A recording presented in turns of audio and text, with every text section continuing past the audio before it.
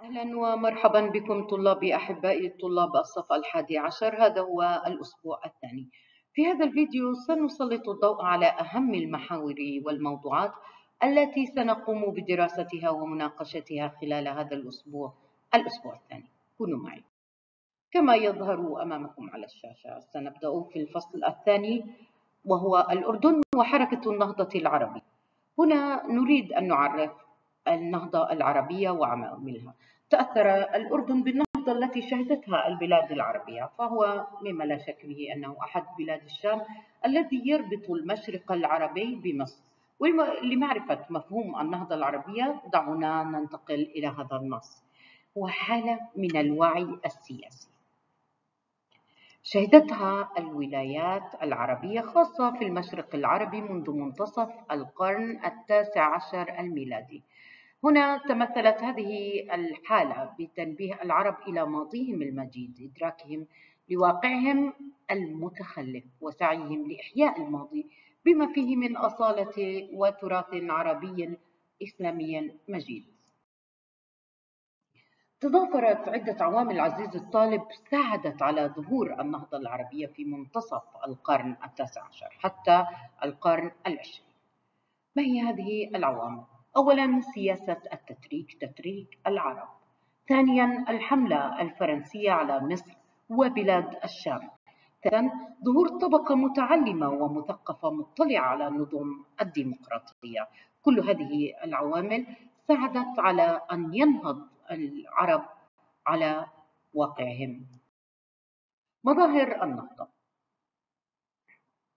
في الأردن كان الاهتمام بالتعليم وانتشار المدارس خاصة في أثناء فترة حكم إبراهيم باشا.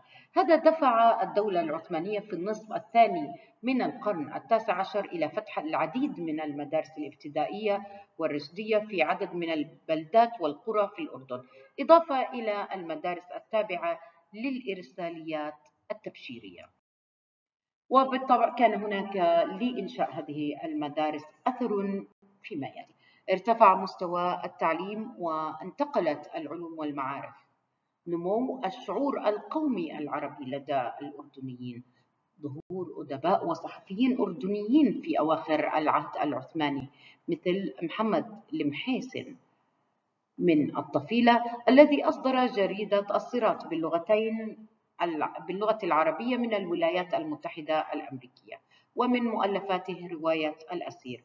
وعقيل أبو الشعر من مواليد بلدة الحصن الذي أكمل دراسته في القدس ثم روما وقد أتقن اللغات التركية والإنجليزية والفرنسية والإيطالية والألمانية.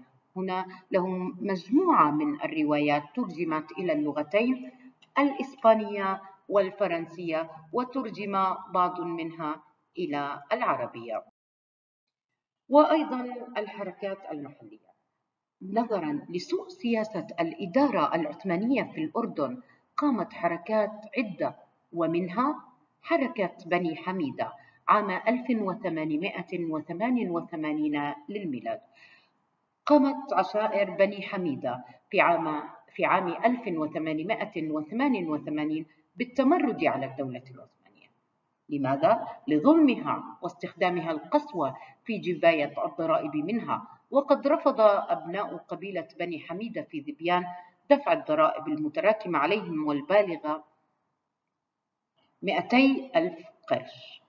كان من نتائج حرب بني حميدة مقتل وجرح عدد منهم وإجبار أهل آه، القبيلة على دفع ما عليهم من الضرائب.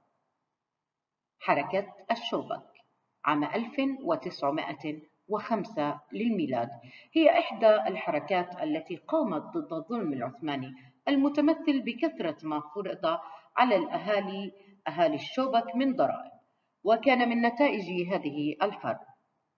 مقتل عدد من رجال الشوبك. تدمير منازل الأهالي. إجبار الأهالي على دفع الضرائب. وأيضا ستدرس خلال الحصة الكثير من الحركات حركات المحلية التي وجدت نتيجة سوء السياسة سياسة الإدارة العثمانية في الأردن. عزيزي الطالب هذا هو عرض سريع لما سنقوم بدراسته خلال الأسبوع الثاني من الفصل الثاني. أتمنى أن أكون قد وفقت فيما قدمته لكم. طاب نهاركم بكل الأمل والخير والبركة.